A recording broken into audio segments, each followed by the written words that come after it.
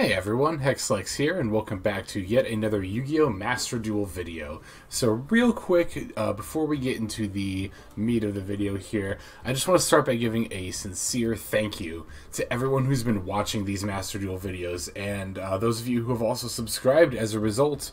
You know, the response to these has been much greater than anything I anticipated, really. Which I know you might hear me say that and be like, "Well, dude, you only got like a few hundred or a thousand views," which I that, that means a lot to me, though. Um, I it genuinely made my day. I, I say that and I mean it. So thank you very much uh, to all you new viewers. Now, we're going to go ahead and jump right into things from here, which I'm sure you're here for the title of the video, which is Staples. We're going to be talking about staples in this uh, video. We're going to be talking about cards that just hold all decks together. And as a result of these cards being good in most, if not all, decks, uh, these are also some of the cards that you're going to want to craft first. As I know, I know that's a big question, uh, even among like more experienced players. I'm constantly asking it myself, right? Like, what should I be spending my Ultra Craft points on? Even my Super Craft points. Uh, well, we're going to go ahead and look at some cards that are some prime candidates. So we're going to go over here into decks where I've got all of these cards set aside and hmm, possibly some future content. we'll see. I'm very much still studying that deck. But if we take a look here, we're going to see this little list I've put together. And I'm not going to go through these cards in the order they're presented necessarily. Rather, I'm going to start with some of the cards that I think are the most important to craft or just have in general. And then we'll kind of just work our way down from there. Now, keep in mind, uh, with any Yu-Gi-Oh player, there's always going to be slight variance in lists like these, right? Like my number one, two, or even ten most important card to craft might not be somebody else's. Um, but I think we can mostly, as players, agree on a lot of things, and um, at least I think I've included all the cards that I think could make a list, a staples list like this. Um, if you there are any that you think should be here, uh, feel free to let me know in the comments. I'm always open to suggestions. So, uh, without further ado, though, let's go ahead and start talking about the cards I've got listed here. So, if we're talking the most important cards that you could craft, and the ones that I personally think should be in just about every deck in some capacity, I'd start with this one right here Ash Blossom and Joyous Spring. And the card I'd honestly compare with it, or at least put it at a similar level of importance, is going to be infinite impermanence. So Ash Blossom, we get a copy already with our uh, special pack. I think it was like 750 gems. I don't remember the title off the top of my head, but uh, most of us bought it on day one, right? Where it's the 10 packs, and then you get a copy of Ash Blossom. Uh, there was also one for Lightning Storm and Solemn Judgment. If you have not picked up all three of those special packs, again, I think there's 750 gems each. I highly recommend it, as it's not only a good uh, price for the packs, but also you get good cards with them as well, including Ash Blossom. I think three copies of Ash Blossom should be in pretty much every single Yu-Gi-Oh deck on Master Duel right now, to be quite frank. I I'm sure there's like some rogue decks out there where you wouldn't want to put Ash Blossom in, but I couldn't tell you a single deck off the top of my head that you don't want three copies of this card in. Uh, Ash Blossom, for those who don't know, you discard it and you negate any effect that adds a card from decks to the hand, special summons a monster from the deck, or sends a card from the deck to the graveyard. Basically, any effect that interacts with the deck at all, this card can just kind of say no to. And as we all know, Yu-Gi-Oh! in its current state, we're doing a lot of searching our decks. We're doing a lot of special summoning from our decks. We're sending a lot of cards from our deck to the graveyard. If you've been watching my Tri Brigade videos, you know that that deck does all three very frequently. So Ash is definitely a great card to have, um, just in general. Like I said, I think three copies of this should be in every deck. Infinite Impermanence, I think at least one copy should probably probably be in every deck. Um, there are but some cases where you might not want a full set, but I do think in most decks you want a full set of infinite imper- impermanence as well. So what this card does is it's pretty simple. It just negates the effect of a monster on your opponent's side of the field, but what makes it special is that you can activate it from your hand if you control no cards. Uh, there's also a minor side note as well that if this card was set and you activate it, um, you can negate the spell and trap card on your opponent's field that's in the same column as it. fairly niche, but it can definitely be handy. Um, it can definitely come up. It's something you should keep in mind. But the main reason we want impermanence is to negate our opponent's monster effects on the field, specifically on turn 1, because again, we can only use impermanence from our hand if we have no cards on our field. But this is very, this and Ash Blossom are very important to have if you're going second, because you want a way to be able to stop your opponent from just completely going off, right? We want something to keep them in check.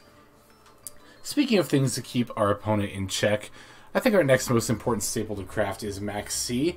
I would actually argue that this is more important than Impermanence right now, and it might even be in our current format more important than Ash. I don't know about that actually. I, there are decks that I would play, or that I would not play Maxx C in, um, but Maxx C is an interesting craft, right? Because the format that Master Duel uses actually differs from the TCG's current format.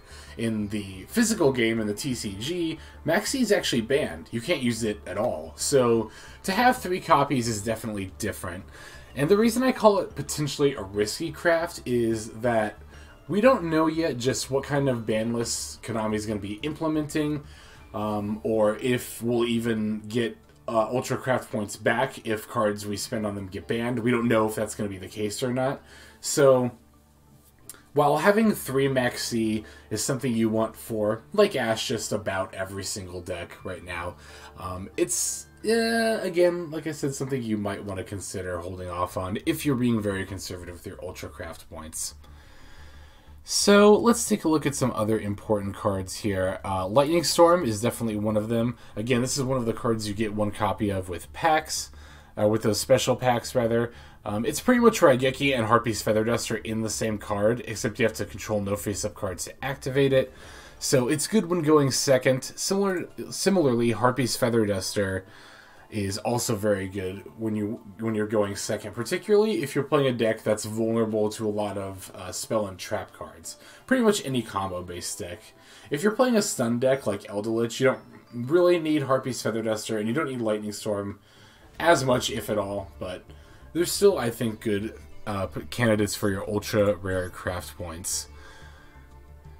Another good candidate for your ultra rare craft points is going to be Nibiru. You can see I haven't crafted it just yet, although this is probably the next card on this list that I am going to craft are two copies of Nibiru. So this card, when your opponent special, normal or special summons it five or more times, you basically wipe their board and give them a token with the total stats of everything you wiped, which is obviously much worse for your opponent than all the monsters they were trying to get out onto the field. You do want to make sure that you have an answer for the Nibiru token. Um, there are games where I've gotten Nibiru'd, but then I just win by killing my opponent with the token. So that is something to keep in mind, and I guess makes this card a little potentially risky sometimes, but generally speaking, it's a it's a very favorable effect and one that you want to be triggering. Um, another good candidate for Ultra Craft points. Well, I say good. So Forbidden Droplet is kind of a contentious card among uh, some players. From what I've seen in like YouTube and Reddit comments, Forbidden Droplet is a card that's really, really good in the TCG. Again, the physical card game right now. But the thing is about it, I don't know if it's as good in a best of one format. What I mean by that is that currently in Master Duel on the ladder, we just play one game with our opponent, and whether we win or lose, that's it. That decides whether we rank up or down. But in the physical TCG, in tournaments, uh, we play best two of three games, and we have what's called a side deck, which is 15 cards that you have, as the name implies, to the side, and between games, you can swap cards between your main and side deck. Forbidden Droplet is something I would call a pretty good side deck card right? It's got um, the ability to completely negate all of our opponent's cards. The problem is, for every card that you negate, you have to discard a card, or you have to rather send it from your hand or field to the graveyard.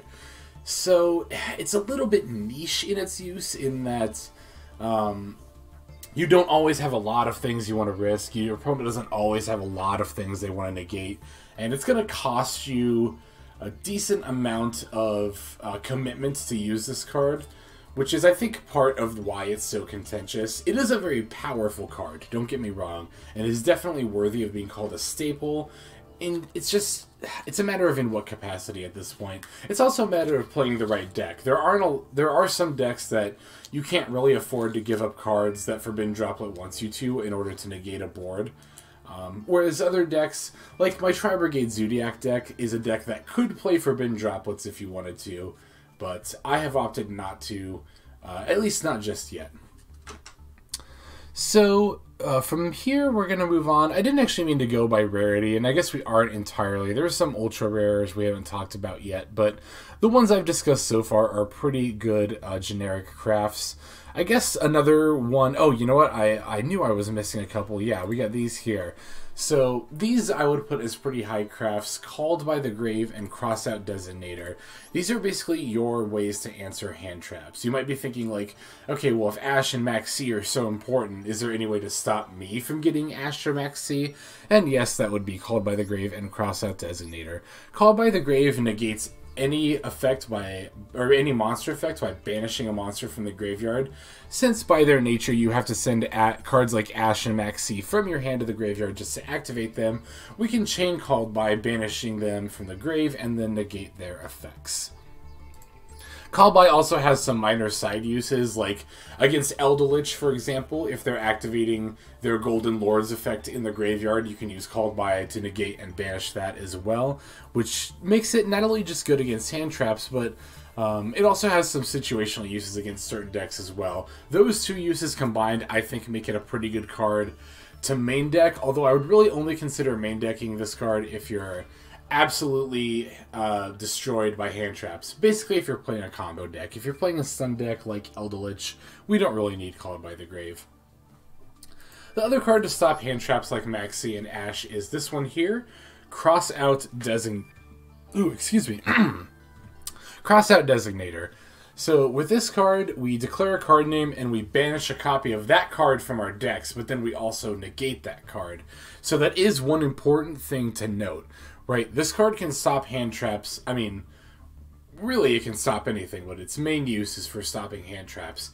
Uh, this card can do that, but you have to also be playing it as well. So, uh, if you want to be stopping like Ash and Maxx C, you got to have Ash and Maxx C in your deck, which is not a huge ask. We can also stop Nibiru if we have Nibiru in our deck. Um, those are the main three that you want to stop with Crossout Designator. Uh, I've not played with this card yet. Obviously, I haven't crafted it yet. Um, and it only recently came out in the TCG. So I'm not really sure how niche of a use it is to use it to counter stuff that's not hand traps. I just know from what I've seen and from what I've read that that's the main use for it. Um, next card I'm actually going to talk about is this one here, Twin Twister, even though it's a super rare. This is kind of like I wouldn't even call it necessarily budget Harpy's Feather Duster. Twin Twisters does have some use that Harpy's Feather Duster doesn't, mainly that it's a quick play spell card, so that we can use it during our opponent's end phase and we can destroy their spells and traps before our opponent has a chance to even respond. It does cost a discard, but in some decks this, this can even be an advantage. Like, again, Tri Brigade, for example. We can discard, like, a copy of Kitt, and then activate Kitt's effect and start comboing off by discarding her for Twin Twisters. I generally main decking this card kind of depends on again how much spell and trap hate you want. In my decks, I've been using Lightning Storm and Harpy's Feather Duster, though I will say, I will say in Tri Brigade, uh, we can't use Lightning Storm if we've played Tenki. That has come up for me a couple of times where I want to clear my opponent's spells and traps, but I have a Tenki face up, and we can't activate Lightning Storm if we control a face up card. So I have actually considered like cutting Harpy's Feather Duster and one of the two Lightning Storms and playing one Lightning Storm and two Twin Twister as opposed to what I'm currently using, which is two Lightning Storm and one Harpy's Feather Duster. So, yeah, Twin Twister, like I said, I wouldn't even call it a downgrade from Harpy's Feather Duster. Um, I'd call it like a side grade, right? As in, it's got different uses. Um, that some some of them are a bit niche, but they're still valid. Uh, valid. Yep. Sorry, I'm getting a bit tongue tied here. Uh, Solemn Judgment is the next one I want to talk about. This is, like I mentioned earlier, the third staple card that you can get by buying the special packs for 750 gems each. So, Solemn Judgment is a card that you really want to play in I mean, you could play it in just about any deck, but it's it's kind of tricky for me to describe sometimes which which of decks do and don't want some of these cards. Um, Solemn Judgment does cost half your life points. Obviously, that's something you have to watch out for, but it's capable of negating pretty much anything. Uh, any summon or spell or trap card being activated anyway. Um, just keep in mind you can't negate like a monster effect with it, or you can't negate you can't negate the effect of like a continuous spell or trap card that's already on the field and activating its effects. They have to your opponent has to be activating the spell or trap card initially. Alright, so next card we can talk about here is DD Crow. You can see this one's actually a super rare. Uh, by discarding it, you banish a card from your opponent's graveyard, which doesn't seem like a lot, but can be very useful against quite a number of decks. I'm thinking particularly of Dragon Maids, for example. When our opponent is attacking with a small Dragon Maid and they activate the effect, you can chain DD Crow to banish the big Dragon Maid out of the graveyard. And then your opponent doesn't have, the, well, the big dragon in the graveyard to tag into.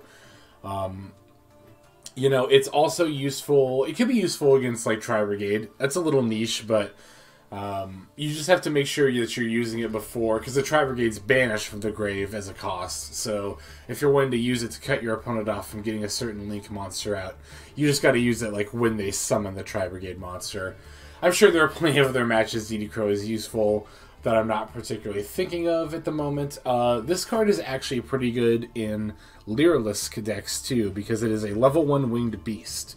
So it can be searched by uh, the Lyrilusc cards, and if you need to, you could even use it with the Lyrilusc cards as part of the combo. Another good hand trap that I, I actually really almost did play in my Tri Brigade Zoodiac is this one here, uh, Psyframe Gear Gamma. So this card um, is useful for negating monster effects. You do have to note that uh, you have to control no monsters in order to play it, and you do also have to be playing this card here, Psyframe Driver. You might have been wondering why there was a normal monster, uh, a like a random normal monster in the staple list. That's because Psyframe Driver goes kind of hand in hand with Psyframe Gear Gamma here. So, yep, once you summon it and Driver, you're able to negate a monster effect. Uh, again, I really almost actually played this one in my Tri Brigade Zoodiac deck. The thing that made me kind of inclined not to play it was honestly the main fact that you have to main deck a Psyframe driver. And in more combo reliant decks, ideally you don't want to be playing dead cards. Um, this card obviously isn't dead, it does have a use in our deck, but if we draw it in our opening hand, it doesn't help us advance our combos in any way. So that is something I'm a little hesitant on about. Um, Gamma here, but it is a fairly powerful hand trap and one worth considering. Another hand trap that's I wouldn't call it power. Well, it's powerful in the right scenario. It's just a little niche. Droll Lockbird here. Basically, you use this in response to your opponent drawing or searching for cards. Uh, and after you discard this, your opponent can't do that anymore for the rest of the turn. So if you're really, really tired of getting Maxx C'd, you can go ahead and use Droll and Lockbird to counter that. Um, it can also be useful against, again, certain decks. Uh, if they were side decking, like I mentioned earlier, Droll Lockbird is an excellent card for the side deck because there are certain decks that do search or draw cards a lot during their turn, and Droll Lockbird will single-handedly shut them down from comboing. It's just, again, fairly niche. Another kind of niche hand trap that's also good for the side deck um, is Ghost Bell and Haunted Mansion just like Ash Blossom just basically sa says negate any effect that interacts with the deck, this one more or less just says negate any effect that interacts with the graveyard. Which again is very, very handy against decks that do that, but in the current Master Duel format, I don't think, personally, I don't think there's enough decks um, that are doing that to warrant main decking this card. But it's still one to keep in mind. Uh, oh, you know what? I haven't really touched on the Pot of Desires, Extravagance, and Prosperity. These are actually worth uh, a little bit higher consideration than where I'm putting them here in the video, but these three spell cards in general are good for drawing cards, and which one you want mostly is going to depend on which deck you're playing. So, Pot of Desires is kind of the general purpose one. We banish the top 10 cards of our deck face down, then draw two. You've seen me play this card in Tri Brigade Zoodiac. However, something else for consideration is also Pot of Extravagance, specifically for Tri Brigade Zoodiac. Um, this one, you would want to banish six random face down cards in your extra deck and then draw two. You could banish three to draw one, but I mean, if you're going to banish, if you're committing to Pot of Extravagance, you might as well go for six. You could, in theory, also play this in Tri Brigade Zoodiac, but I think Desires is the less risky cost of the two. Because, yeah, you can send, like, all three copies of, like, one of your Tri Brigade monsters and wall yourself off from comboing. But if you're banishing six of your 15 extra deck cards, you're much more likely to hit pieces you need to be comboing. Plus, Tri Brigade Zoodiac is also more of like. It's not necessarily always just trying to win on the first turn. You do have to think about later game plays with Tri Brigade Zoodiac, and cutting yourself off from later game options I don't think is worth it.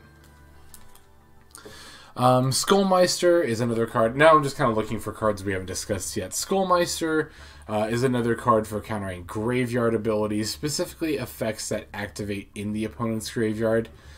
Um, like Ghost Bell, it really is really good against certain decks, but is not so great against others. I think in most decks it's a little bit niche to craft, but it's also only a super rare. So if you're going to craft either Ghost Bell or Skullmeister, it's probably worth going for Skullmeister before you go for Ghost Bell.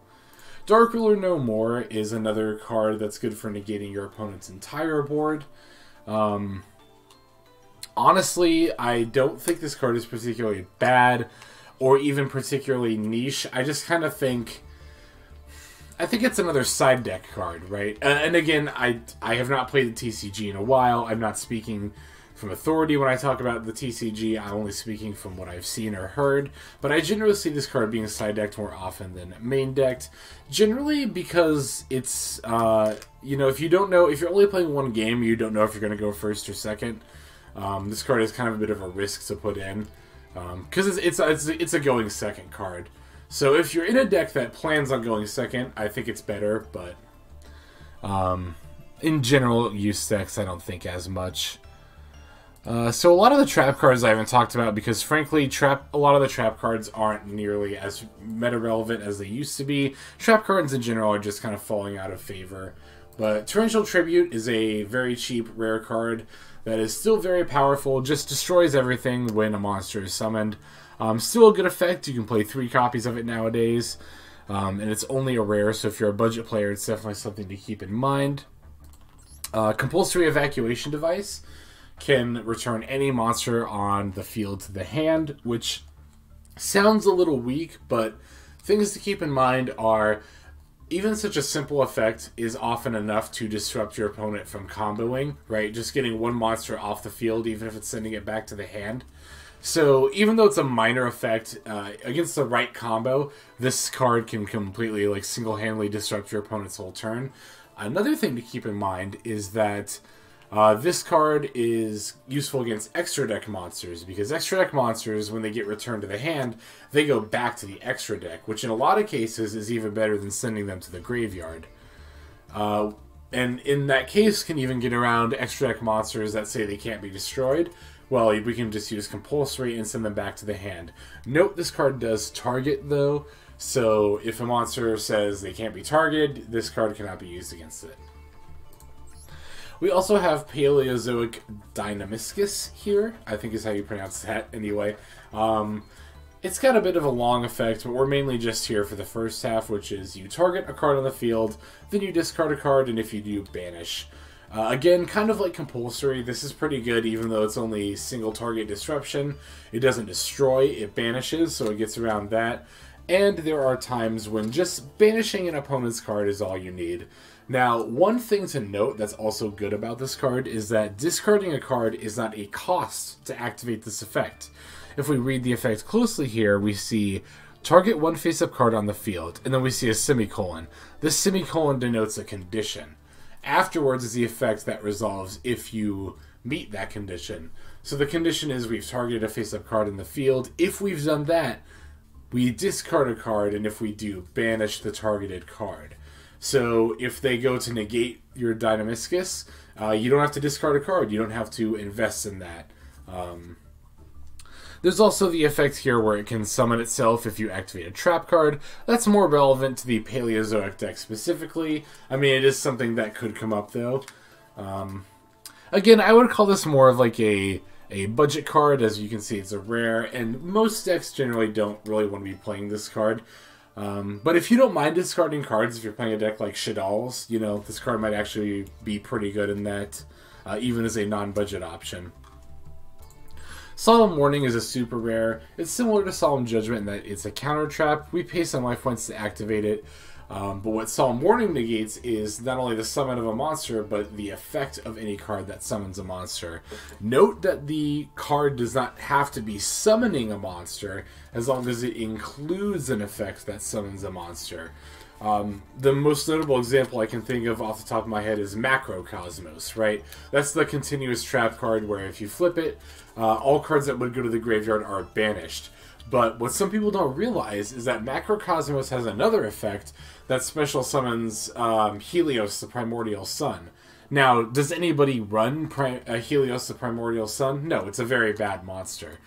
But since Macrocosmos includes an effect that summons it, if our opponent's activating it, you can respond with Solemn Warning, which is obviously going to be more apparent in Master Duel, where you get the automatic prompts to respond. But um, yeah, that's in the like the TCG. That was kind of a fun little hidden interaction you could do.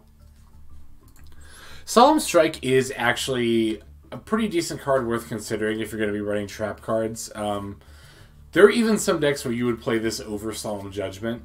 Uh, as we can see, when a monster would be special summoned or any monster effect is activated, you pay 1500 life points and you just negate and destroy, which is a relatively cheap cost. Um, and again, negating any special summon or effect is very broad use.